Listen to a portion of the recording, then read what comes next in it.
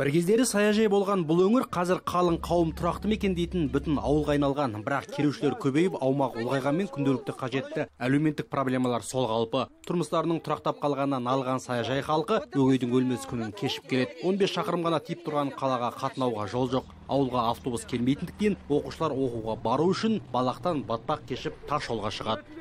Переводим детей через поле в школу. Естественно, моем эти башмаки, чтобы ребенок хоть как человек в школу пришел. Это два раза в сутки мы вот этот маршрут проходим.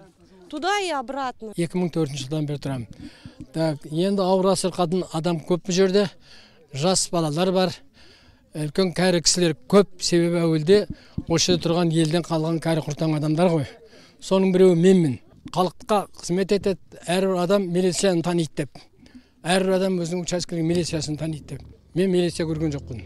Учаскелік инспектордан бөлек жолдың жоқтығынан жедел жәрдем де жуымайды жүдеу жұртқа. Тұрғындардың толғатқан әйелді өздері босандырып алуы да бұл аумақтың адамдарына таңсық емес. Тек биылдың өзінде айы күні жеткен екі әйел кездейсоқ тұрғындардың көмегі арқылы ауыл ішінде сәбилі болған. Скорый шақырып едім. Жаңа эле скорый келем дегенше қатын жаңа эле толғақ басталып жаңа эле скорыйны барып трассадан күтіп алу керек. Ол келем дегенше мынау қиналғаннан кейін өзім туғыздым жолға байланысты жер лай кіре алмайды айланып ана шетпен келу керек болмаса мына шетпен келу керек. Үш төрт километр айланып. Соның үшін туғыздық бұл ауылға қойылған бір ғана трансформатор бар. Оның өзі жекенің қолында болғандықтан онсыз да нәпақасын әрең тауып жүрген ел тоқтың құнын еселеп төлейді. Бірақ халыққа өз бағасын қойса да оны місе тұтпаған қожайын трансформатордың қиысынуын сылтауратып ақша жинауға әуес. Біздің округта орналасқанымен бұлар өздері бөлек саяжай болып саналады.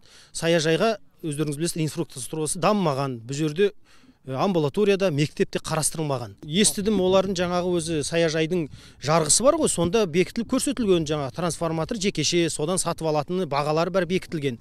Егер наразылық туғызып жатса ол мәселе бойынша әкімшілікке келеді мен жаңа түсіндіріп айттым. Сосын жаңа аудандық энергосетпен бірге отырып жаңа шешімін қарастырып іздейміз.